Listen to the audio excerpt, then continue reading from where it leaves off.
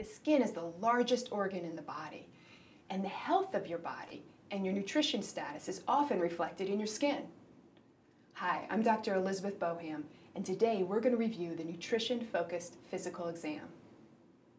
There's so much you can learn about your patient's health and nutritional status through the skin exam. You may determine through the skin exam that your patient needs to go on a low glycemic impact diet.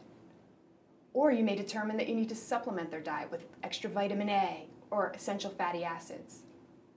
You may also determine that you want to refer your patient to a nutritionist for further assessment and intervention. The skin is made up of the epidermis and the dermis. The epidermis is the outer layer of the skin, and it's a very important protective barrier. The dermis, right under the epidermis, is made up of connective tissue, fat, lymph, blood, sebaceous glands, and hair follicles. The skin also includes your hair and your nails. The skin is a dynamic organ. Come with me so we can discover more about your patient's nutritional status through the skin.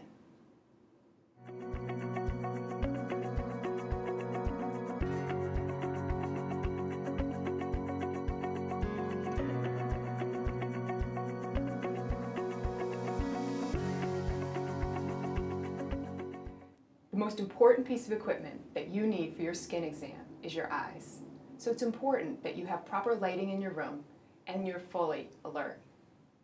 Your sense of touch is also really important, so you'll be using your fingers a lot during your skin exam.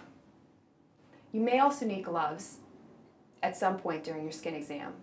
You'll want to have a ruler handy so you can assess a lesion and document it. And a camera so you can document lesions and keep them in the patient's chart for further reference. Magnification is also very helpful. You may want a magnifying glass or an episcope so you can see a lesion close up.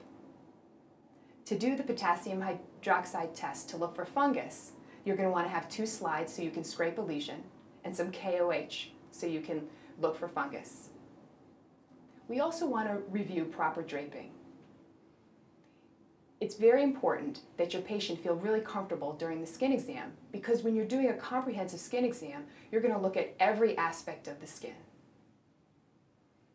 For the purpose of this video, we're going to keep certain sensitive areas covered.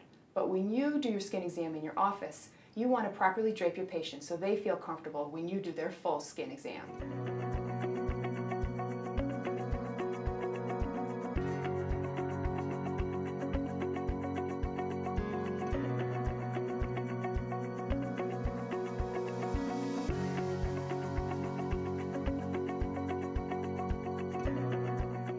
You're doing your skin exam, you want your patient to be fully draped so they feel very comfortable while you have access to look at all aspects of their skin.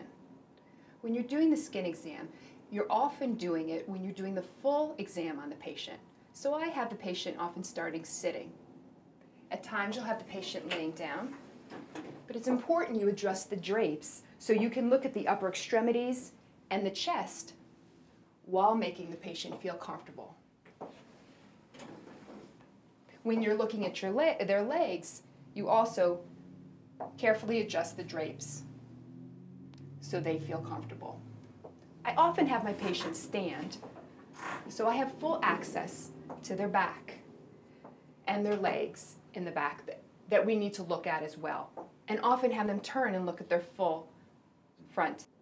It's important that you have your patient fully draped so they feel comfortable while you have access to all aspects of their skin.